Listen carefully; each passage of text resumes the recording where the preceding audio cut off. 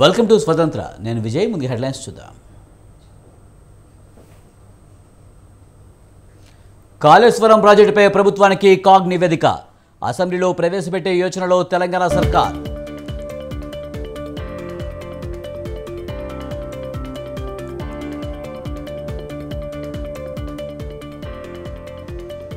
ఏడాదిలోగా రెండు లక్షల ఉద్యోగాల భర్తీ. టీఎస్పీఎస్సీ ద్వారా చేపడతామన్న సీఎం రేవంత్.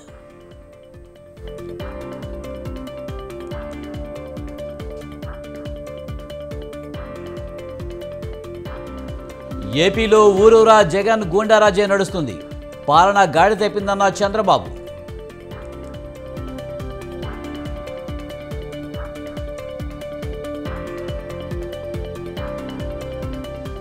ఎన్నికల వేళ నిరుద్యోగులకు గుడ్ న్యూస్. మెగా డిఎస్సికి ఏపీ కేబినెట్ ఆమోదం.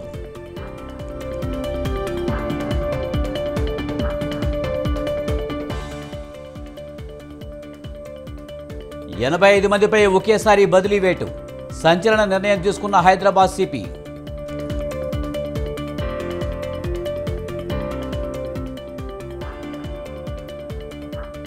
విపక్షాలను కేంద్రం టార్గెట్ చేస్తుందా? ఎన్నికల వేళ ఈడీ సమన్లతో సందేహాలు.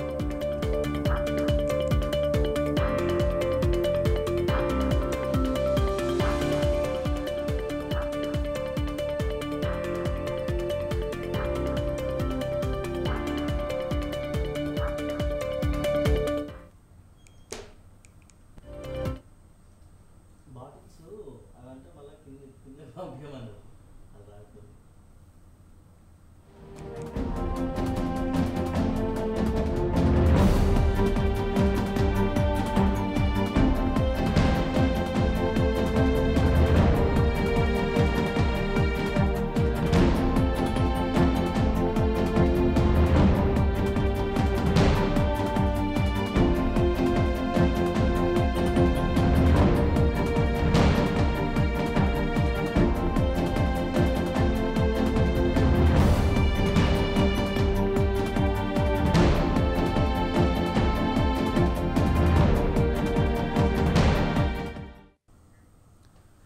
కాళేశ్వరం ప్రాజెక్టుపై కాగ్ రాష్ట్ర ప్రభుత్వానికి నివేదిక ఇచ్చింది. ప్రాజెక్టు పనితీరుకు సంబంధించి రిపోర్ట్ను ప్రభుత్వానికి సమర్పించినట్టు తెలిపారు అకౌంటెంట్ జనరల్. శాసనసభ మండలిలో ప్రవేశపెట్టేందుకు వీలుగా నివేదిక ఇచ్చినట్లు పేర్కొంది కాగ్. కాళేశ్వరం ప్రాజెక్టు ప్రణాళికలు పనులు అంచనా వ్యయం అనుమతులు ఆర్థిక వనరుల సమీకరణపై కాగ్ ఆడిట్ నిర్వహించింది.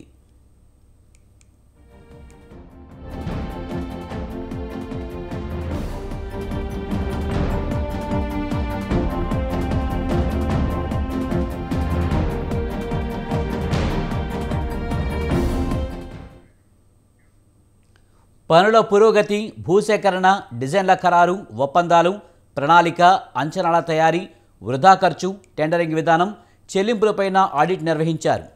ప్రాజెక్టులపై లేవనెత్తిన అభ్యంతరాలు రాష్ట్ర ప్రభుత్వం ఇచ్చిన వివరణలతో కూడిన పూర్తి వివరాలను కాగ్ తన నివేదికలో పొందుపరిచింది. రానున్న బడ్జెట్ సమావేశాల్లో ఈ నివేదికను ఉభయ సభల ముందుకు తీసుకురావాలని ప్రభుత్వం భావిస్తున్నట్లు సమాచారం.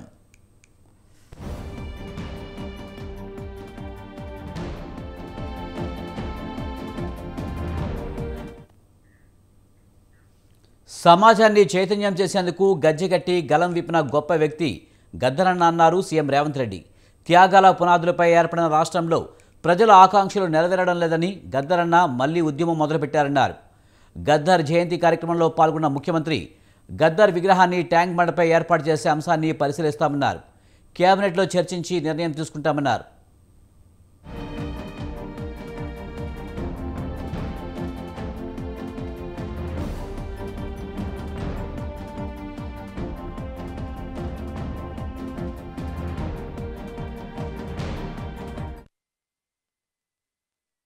మన ఉద్యమంలో ఎంత క్రియాశీలక పాత్ర పోషించిండో మాకందరికి తెలుసు. వారందరూ ఈరోజు ఈ కార్యక్రమాన్ని ఏర్పాటు చేసి తెలంగాణ సమాజంలో చైతన్యం ఉన్నది. సమాజ చైతన్యం కోసం జీవితాలనే త్యాగం చేసి గజ్జగట్టి గలం విప్పి భుజం మీద గొంగడేసుకొని సమాజాన్ని దొరలకు వ్యతిరేకంగా చైతన్యం చేస్తూ ప్రజాస్వామిక విలువలను కాపాడాలి. పేద ప్రజలకు ముఖ్యంగా దళితులకు గిరిజనులకు బడుగు బలహీన వర్గాలకు మైనారిటీలకు మహిళలకు న్యాయం జరగాలి. వాళ్ళు అభివృద్ధి చెందినప్పుడే ఈ సమాజం నిజమైన అభివృద్ధి సాధించినట్టు అని చెప్పి గద్దరన్న నిరంతరం పరితపించడు. నాకు బాగా గుర్తు సంవత్సరం గుర్తులేదు కానీ మేము కాలేజీకి వెళ్ళే రోజుల్లో అచ్చంపేటలో గద్దరన్న కార్యక్రమం ఉండే. ఆ కార్యక్రమాన్ని ఆనాడు ప్రభుత్వాలు అడ్డుకోవాలని చూస్తే వేలాది మంది గ్రామాల నుంచి ఎడ్ల బండ్లు కట్టుకొని గద్దరన్న అచ్చంపేట కార్యక్రమానికి తరలి వెళ్ళింది. నాకు బాగా గుర్తు. ఎందుకంటే మా గ్రామం గ్రామమే ఆ రోజు గద్దరన్న కార్యక్రమానికి వెళ్ళినప్పుడు అప్పుడు గద్దరన్న గొప్పతనం నాకు తెలీదు. మొదటిసారి గద్దరన్న పేరు. అసెంబ్లీ పార్లమెంట్ ఎన్నికల వేళ నిరుద్యోగులకు గుడ్ న్యూస్ చెప్పింది ఏపీ సర్కార్. సీఎం జగన్ అధ్యక్షతన జరిగిన కేబినెట్ సమావేశంలో మెగా డిఎస్సీ సహా పలు కీలక అంశాలకు ఆమోదముద్ర వేసింది.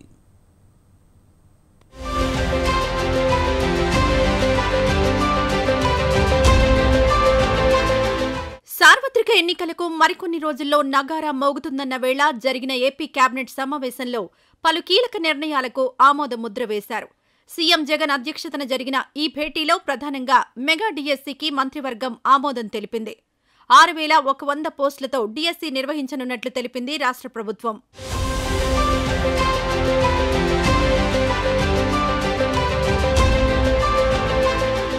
వైఎస్ఆర్ వైఎస్సార్ చేయూత నాలుగో విడతకు ఆమోదం తెలిపింది మంత్రివర్గం. ఎస్సీ ఎస్టీ బీసీ మైనారిటీ మహిళలకు ఐదు వేల కోట్ల నిధుల విడుదలకు ఆమోదం తెలిపారు. తాజాగా జరిగిన ఎస్ఐపిబి సమావేశంలో ఆమోదించిన తీర్మానాలకు గ్రీన్ సిగ్నల్ ఇచ్చింది కేబినెట్ ఇంధన రంగంలో ఇరవై రెండు వేల కోట్ల పెట్టుబడుల ప్రతిపాదనలకు ఆమోదం తెలిపింది. నంద్యాల కర్నూలు జిల్లాల్లో రెండు విండ్ పవర్ ప్రాజెక్టులకు అనుమతిచ్చింది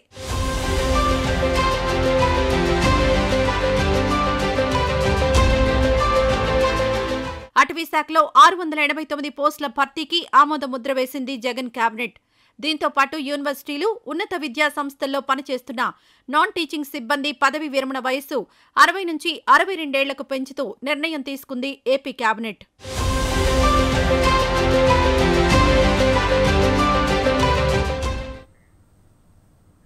రానున్న ఎన్నికల్లో గెలుపు కోసం తనదైన శైలిలో వ్యూహాలు రచిస్తున్నారు AP PCC chief YS Sharmila. ఇప్పటికే జిల్లాల పర్యటనలో తన మార్కు చూపించిన ఆమె.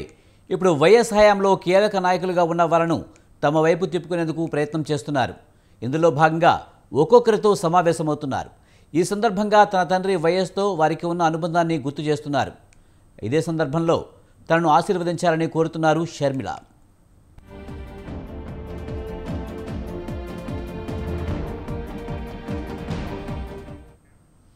జిల్లాల పర్యటనలో భాగంగా వైఎస్తో సన్నిహితంగా మెలిగిన నలుగురు నేతలతో ప్రత్యేకంగా సమావేశమయ్యారు షర్మిల. వారిలో ఒకరు మొన్నటి వరకు గన్నవరం వైసీపీలో కీలకంగా వ్యవహరించిన దుట్ట రామచంద్రరావు. ఈయన వైఎస్కు మంచి స్నేహితుడు పైగా నిజాయితీపరుడనే పేరుంది.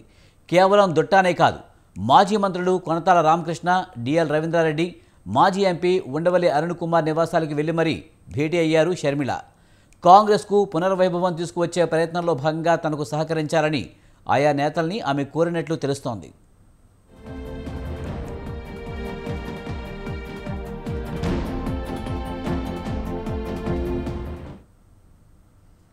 నిజానికి ఏపీలో వైఎస్తో సాన్నిహిత్యం ఉన్న వాళ్ళు భారీ సంఖ్యలో ఉన్నారు. ఇతర పార్టీల్లో ఉండి అసంతృప్తిగా ఉన్న వాళ్ళు తటస్థులుగా వ్యవహరిస్తున్న నేతల్ని మరికొందరిని సైతం కలిసి వారిని కాంగ్రెస్ వైపు తీసుకురావాలన్నది షర్మిళ వ్యూహంగా చెబుతున్నారు రాజకీయ విశ్లేషకులు. మరి ఈ విషయంలో హైకమాండ్ షర్మిలను డైరెక్ట్ చేస్తుందా లేక తనంతట తానుగా వ్యవహరిస్తుందా అన్న దానిపై మాత్రం క్లారిటీ లేదంటున్నారు నేతలు.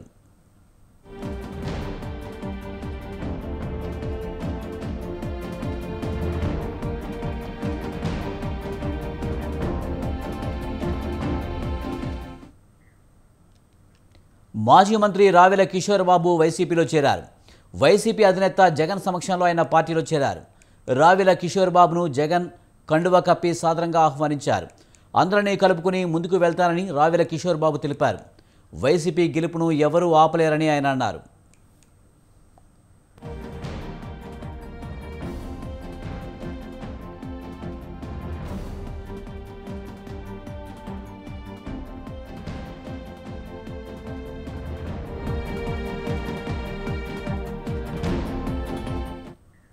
ఒకరు ఇద్దరు పది మంది కాదు. ఏకంగా ఎనభై ఐదు మంది బదిలీ. అది కూడా ఒకే పోలీస్ స్టేషన్ నుంచి. అవును మీరు వింటున్నది నిజమే. గత కొంతకాలంగా వివిధ కేసుల్లో ఆ స్టేషన్లోని కాకీలు వ్యవహరిస్తున్న తీరు కీలక సమాచారం బయటికి పొక్కడం లాంటి కారణాలతో హైదరాబాద్ సిపి సంచలన నిర్ణయం తీసుకున్నారు.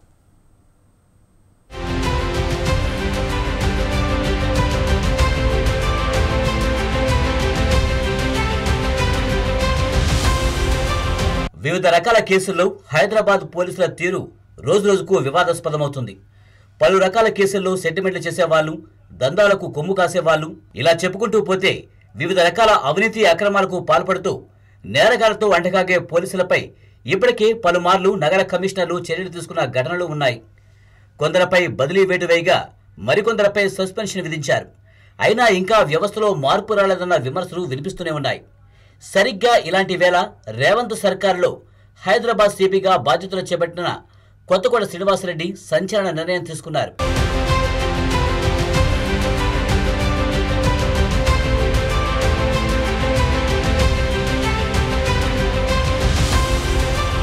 గతంలో ఎన్నడూ లేని విధంగా పంజాగుట్ట పోలీస్ స్టేషన్ సిబ్బంది మొత్తాన్ని మార్చివేశారు. ఇన్స్పెక్టర్ స్థాయి అధికారుల నుంచి హోంగార్డు వరకు ఏ ఒక్కరిని ఉపేక్షించలేదు. అందరినీ బదిలీ చేశారు. అలాగని ఏ ఐదుగురునో పది మందిపైనే వేటు వేయడం కాదు. ఏకంగా ఎనభై ఐదు మంది సిబ్బందిని బదిలీ చేస్తూ ఉత్తర్వులు జారీ చేయడంతో రాష్ట్ర పోలీస్ శాఖ ఉలిక్కిపడిందన్న అభిప్రాయం వ్యక్తమవుతుంది.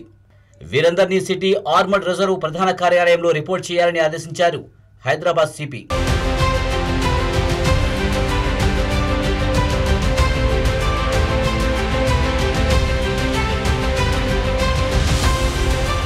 హైదరాబాద్ మహానగరంలో Panjagutta police station heart of the సిటీలో ఉంటుంది. పైగా వివిఐపి జోన్ కూడా. అలాంటి పిఎస్ విషయంలో పోలీస్ కమిషనర్ కొత్తగూడ శ్రీనివాసరెడ్డి ఎంతటి నిర్ణయం తీసుకోవడం వెనుక పెద్ద కథే ఉంది. గత కొద్ది కాలంగా పంజగుట్ట పిఎస్లోని పోలీసుల తీరుపై ఎన్నో విమర్శలు వెలువెత్తుతున్నాయి ఉన్నత స్థాయి అధికారులు ఎంత చెప్పినా మేమింతే అన్నట్లుగా వారి వ్యవహార శైలి ఉండేదన్న ఆరోపణలు ఎక్కువయ్యాయి. ఇటీవలే బోధన్ మాజీ ఎమ్మెల్యే తనయుడి వ్యవహారం అందులో ఆయా పోలీసుల తీరు ఎంతగానో వివాదాస్పదమైంది. పైగా వివిధ కీలక విషయాలు బయటకు పొక్కుతున్నాయన్న ఆరోపణలు వినిపిస్తున్నాయి. దీంతో తీవ్రంగా ఆగ్రహించిన సిపి ఏకంగా అందరిపైన బదిలీ వేటు వేశారు.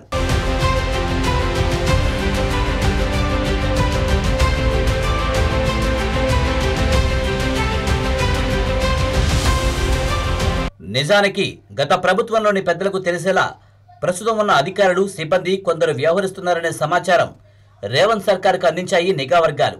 ఈ క్రమంలోనే కొద్ది రోజుల క్రితమే ఇంటెలిజెన్స్ వర్గాలు సీఎం రేవంత్ రెడ్డి భద్రతా సిబ్బందిని మొత్తం మార్చాలని నిర్ణయించాయి. ఆ దిశగా ఉత్తర్వులు జారీ చేసింది ప్రభుత్వం. ఇది జరిగిన కొద్ది రోజులకే పంజాగుట్ట పిఎస్ నుంచి కీలక సమాచారం బయటకు పోగుతుందన్న ఆరోపణలపై ఏకంగా మొత్తం సిబ్బందిపైన ప్రభుత్వం వేటు వేయడం ప్రాధాన్యం సంతరించుకుంది. మరి సిపి తీసుకున్న ఈ నిర్ణయంతో మిగిలిన వాళ్ళలో మార్పు వస్తుందా అంటే చూడాలి మరి.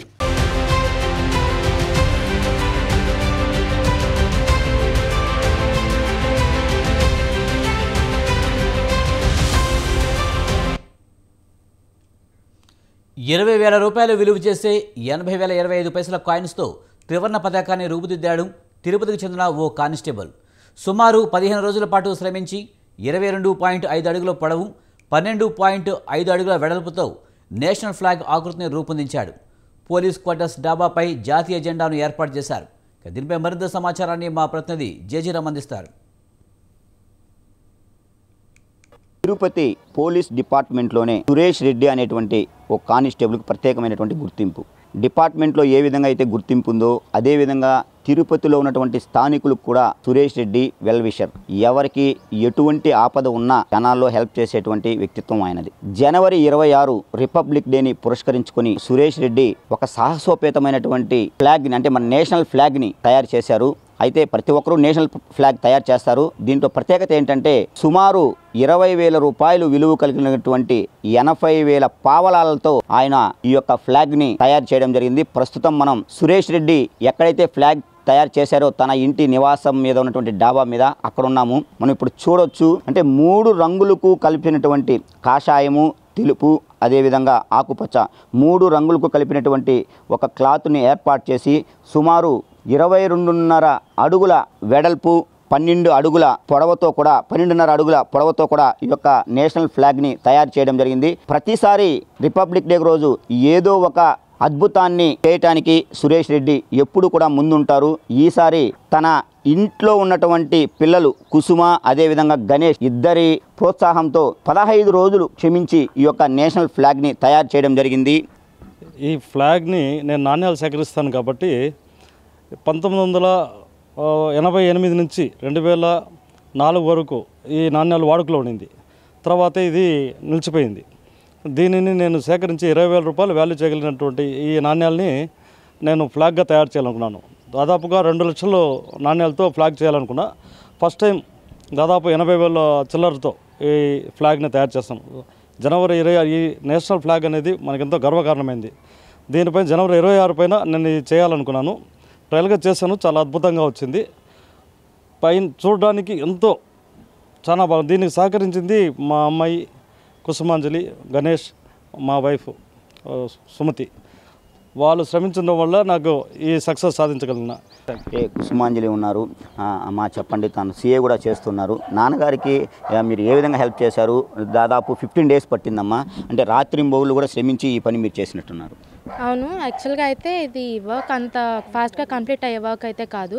ఫిఫ్టీన్ డేస్ మాకు టైం పట్టింది. పైగా డాడీ డ్యూటీలో ఉంటారు. మేము కాలేజెస్కి ఉంటాము. నాకు ఎగ్జామ్స్ ఉన్నాయి.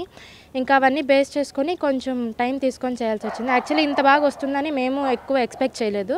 బట్ పర్వాలేదు we have satisfied with this and మా డాడీకి హ్యాట్స్ ఆఫ్ చెప్పాలి. ఈ ఐడియాస్ అన్నీ ఆయనకి చాలా బాగా వస్తాయి. అంటే మేము యాక్చువల్లీ మామూలుగా ఎక్కువ హెల్ప్ రాము. మా వర్క్స్లో మేము బిజీ ఉంటాము. ఈ వర్క్కి మేమందరం హెల్ప్ చేసినందుకు మేము హ్యాపీగా ఫీల్ అవుతున్నాము. ఈ ఈ యొక్క కాయిన్స్ మనం చూస్తే దాదాపు పదహైదు రోజులు ఇంటిల్లి పాది శ్రమించి వాళ్ళ నాన్నగారు సురేష్ రెడ్డి గారికి ఇంట్లో ఉన్న వాళ్ళ వైఫ్ కావచ్చు అదేవిధంగా ఇద్దరు పిల్లలు కూడా పూర్తిగా కూడా శ్రమించి ఈ యొక్క నాణ్యాలను ఈ ఫెవికల్ ఏదైతే ఉందో ఆ యొక్క ఫెవికల్తో కూడా పూర్తిగా అన్- పూర్తిగా అంటించేటువంటి ఆ ప్రయత్నం అయితే చేశారు. అంటే పూర్తిగా మనం దీనికి సంబంధించి చూసుకున్నట్టయితే ఇటువంటి త్రివర్ణ పతాకాన్ని రూపొందించడానికి వాళ్ళు పడ్డ శ్రమ కన్నా ఇది పూర్తి అయిన తర్వాత ఆ కుటుంబం మొత్తం కూడా ఎంత ఆనందిస్తుందంటే చాలా వరకు తమ యొక్క సంతోషాన్ని అయితే వ్యక్తం చేసేటువంటి పరిస్థితి అయితే ఉంది.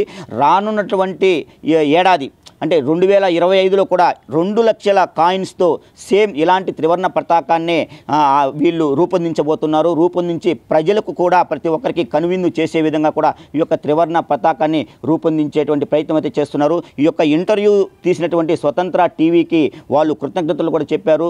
రానున్నటువంటి సంవత్సరంలో కూడా ఇదే విధంగా రెండు లక్షల రూపాయల రెండు లక్షల కాయిన్స్తో ఈ యొక్క త్రివర్ణ పతాకాన్ని అత్యద్భుతంగా కూడా తీర్చిదిద్ది అందరికీ కూడా వీక్షించే విధంగా వీళ్ళు సదుపాయం కల్పించాలని స్వతంత్ర టీవీ కూడా ఆకాంక్షిస్తోంది. కెమెరామెన్ లోకేష్తో జేజీరామ్ స్వతంత్ర టీవీ తిరుపతి.